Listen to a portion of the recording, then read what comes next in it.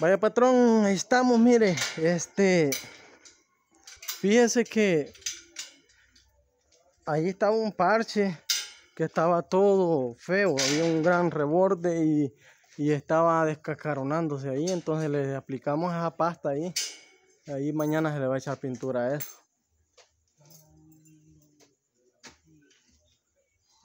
Igual, igual ahí solo ahora le apliqué la pasta ya.